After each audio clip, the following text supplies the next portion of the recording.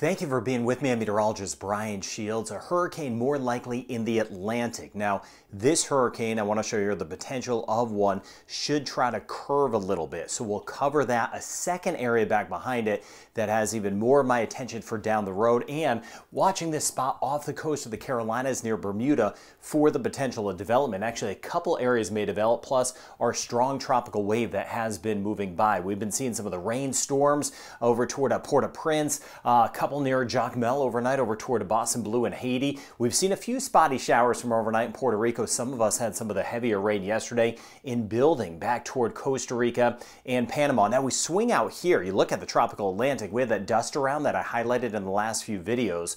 Overall, everything appears to be good, but we have one tropical wave here, another one moving off, and then another one back behind it. That third area looks like it'll trek a little bit more toward the west, but we are going to see an area at ahead of it try to develop into a hurricane as the next few days. As expected, mid to late August is going to get very active. Now, here's the possibility of a tropical storm forming over the next 10 days. Low chance Caribbean and Gulf, but a high chance off the coast of the Carolinas, pushing near Bermuda. That's a spot we're going to monitor closely for development right in through here. But with that said, the new tropical wave that's about to come off the coast of Africa looks like it will try to develop into at least a tropical storm, and more and more of the models are showing this area becoming a hurricane. Here we are in the Caribbean, but hopefully the initial one, the first one, makes its turn and stays over the open waters, but another area back behind it may try to sneak underneath that and then kind of approach us down the road in the Caribbean.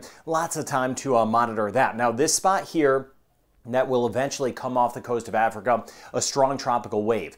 Conditions in the Atlantic are more conducive for development at this point. We have our batch of dust moving in the next couple of days across the Caribbean, but back behind it, we start to lose the dust. The dust season is mainly June and July, and then it lessens in August. We're going to have more moisture in the atmosphere. That will allow this area to develop. The American model and the European model, the latest run on that, the latest information, has this area becoming a hurricane. Uh, Canadian model doesn't have anything. Icon model, the German model, has it becoming a tropical depression or tropical storm. So it is more and more likely that this area will eventually develop, but hopefully make that curve away from us in the Caribbean. Again, there's going to be a lot to track. Not everything is going to hit everyone. I know there's a lot of uh, other entities out there that, that make it kind of feel that way. I'm not only going to show you where these hurricanes, tropical storms are going to go over the next few months, but where they're not going to go. So you're not wasting your time, resources, and having extra anxiety, of course, over this. But it is going to be a busy time of year.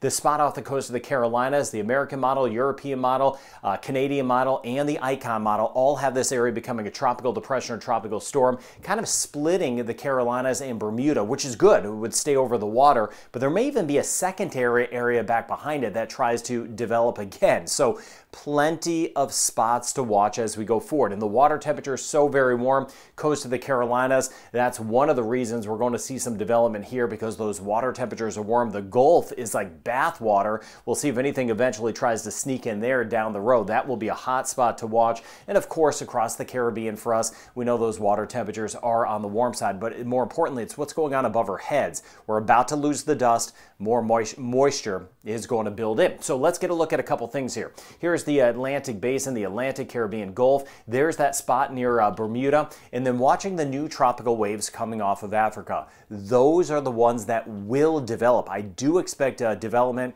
out of multiple tropical waves coming off. As far as where they go, that's what we'll be tracking as we go forward initially high pressure and control. That'll keep the area moving off toward the west. Uh, that's what we'll be watching out for the next few days. Now let's tick ahead as we work our way into Monday, Tuesday, Wednesday of the upcoming week. Now as we get into Wednesday, here we are again in the Caribbean, and I'm going to, going to cover everything. So uh, thank you for your patience, even what's going on with Gil out in the uh, Eastern Pacific. Watching this spot here, but it's this tropical wave that I do believe will develop into at least a tropical storm and more and more likely a hurricane. But what's going to happen is here we are in the Caribbean, almost all of the models showing a curve, and that's what we like to hear, starting to curve a little bit more to the north. High pressure kind of breaks down or moves away. High pressure is that blocker or that fence, if you will, keeping things down. But if that moves away, that'll give this an opportunity to curve, and that's what we want to see. And then watching a new spot by the end of the week,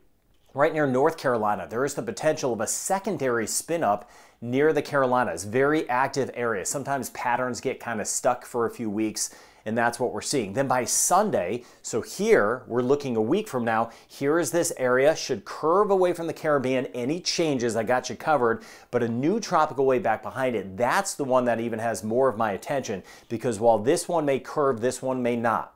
So as we go forward in upcoming videos, I'm going to be watching that. I do expect some development out of that, and then that should at least march closer to us in the Caribbean, not necessarily moving in, still way down the road, uh, but that one I'm a little bit more concerned about to see if that will come closer to land, come closer to our islands as we go forward. Now, plenty of areas to cover, so here's a closer look at us in the uh, Caribbean. We had the rainstorms, British, U.S. Uh, Virgin Islands yesterday, uh, Puerto Rico, uh, and that has all shifted kind of uh, back back toward Haiti, the DR, parts of Cuba. Hit or miss for us in Jamaica. Watching the rain build in Costa Rica, Panama. Tomorrow, same thing. Tropical waves sliding back through even the southern Bahamas. We may catch a couple more showers, Turks and Caicos. And then the rain building as we get through uh, Nicaragua, uh, parts of Honduras, even over toward Belize as we get toward Tuesday. Getting a shot of some uh, spotty showers that will be on the move. There's that tropical wave moving up toward uh, the Bahamas and Cuba. Not seeing development out of that. Should see some extra development out of the eastern Pacific side, but all eyes as we get deeper of the week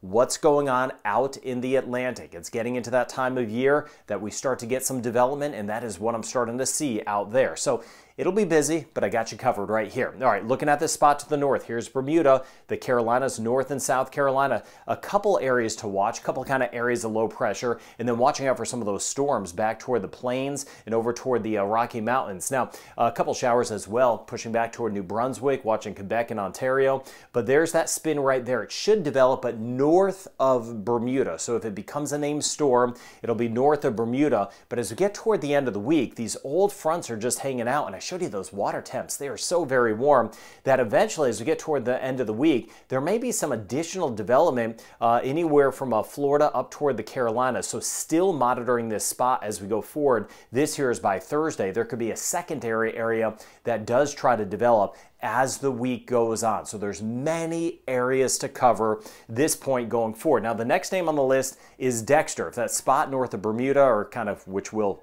eventually be north of Bermuda gets a name, it is Dexter. We're going to have that area that looks to develop into a hurricane in the Atlantic.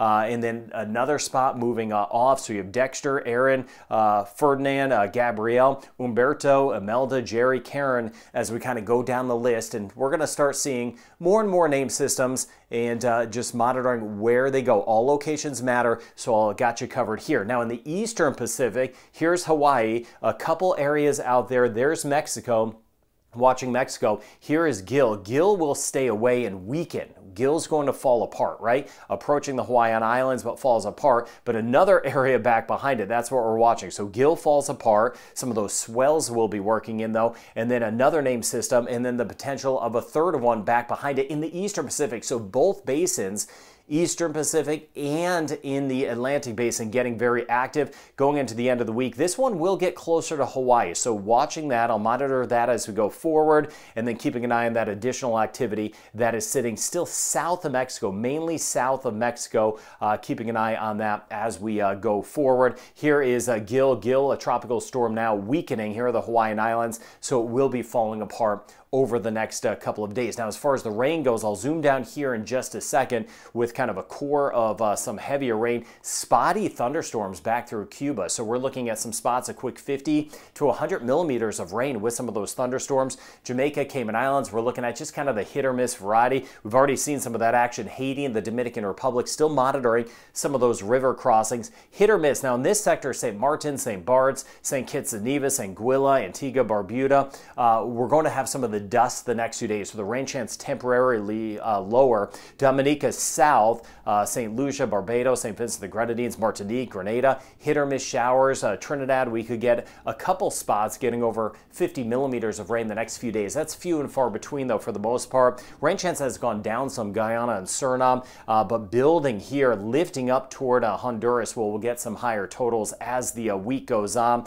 Not as much across Mexico, west of Mexico City. we're seeing some of that rain. Keep an eye on that spot in Texas too, lifting up toward Oklahoma with some bigger storms. But this is the core here, of very heavy rain. Parts of uh, Georgia back through uh, Alabama, Panhandle and western uh, Florida, uh, swinging back toward uh, Savannah, Georgia. Some of these totals upwards of four to six inches of rain the next few days, and as that builds off the coast, that could develop into a tropical depression or tropical storm. So the wave heights in that area the next few days will be on the high side. We'll have a bit of a chop as we work our way back through the uh, Caribbean, a little bit bumpy at uh, times, but all eyes throughout the week will not only be on that area there, but what is trying to develop in the Atlantic, which looks to become a hurricane, and that second area uh, that'll be back behind it. So the rain chance down some, a 30% chance for us in Jamaica the next uh, couple of days, just a 20 to 30% chance as we swing across the Cayman Islands. Rain chance about 40%. Trinidad and Tobago will have some hit or miss uh, showers around, mainly dry in Barbados. Barbados North, we have some of that dust. St. Lucia, rain chance 20 to 30%, and a 30% chance over the next three days in Grenada. So kind of